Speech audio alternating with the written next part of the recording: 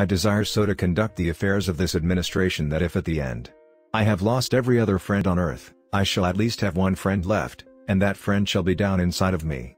Fourscore and seven years ago our fathers brought forth on this continent, a new nation, conceived in liberty, and dedicated to the proposition that all men are created equal. If I am killed I can die but once. But to live in constant dread is to die over and over again. Get the books, and read and study them till, you understand them in their principal features. And that is the main thing. It is of no consequence to be in a large town while you are reading. I read at New Salem. Which never had 300 people living in it. The books, and your capacity for understanding them, are just the same in all places, always bear in mind that your own resolution to succeed, is more important than any other one thing. I do the very best I know how, the very best I can, and I mean to keep doing so until the end. If the end brings me out alright, what is said against me won't amount to anything. If the end brings me out wrong, ten angels swearing I was right would make no difference.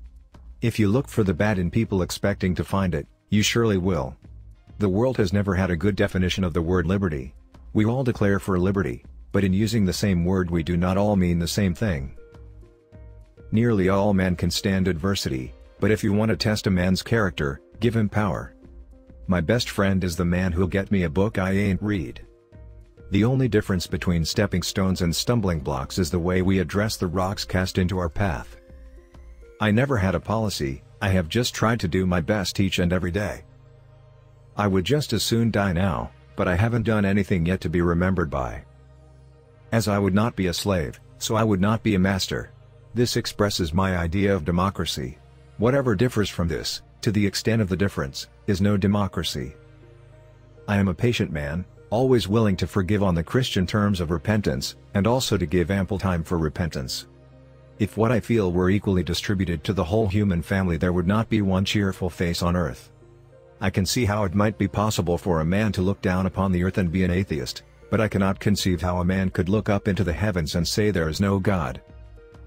I am not bound to win, but I am bound to be true. I am not bound to succeed, but I am bound to live up to what light I have. Character is like a tree and reputation its shadow. The shadow is what we think it is and the tree is the real thing. Always bear in mind that your own resolution to succeed is more important than any one thing. You can fool some of the people all of the time, and all of the people some of the time, but you cannot fool all of the people all of the time. My father taught me to work, but not to love it. I never did like to work, and I don't deny it. I'd rather read, tell stories, crack jokes, talk, laugh. Things may come to those who wait, but only the things left by those who hustle. I have always found that mercy bears richer fruits than strict justice. Common-looking people are the best in the world, that is the reason the Lord makes so many of them. Upon the subject of education, not presuming to dictate any plan or system respecting it, I can only say that I view it as the most important subject which we as a people can be engaged in. I am rather inclined to silence, and whether that be wise or not, it is at least more unusual nowadays to find a man who can hold his tongue than to find one who cannot. Adhere to your purpose and you will soon feel as well as you ever did.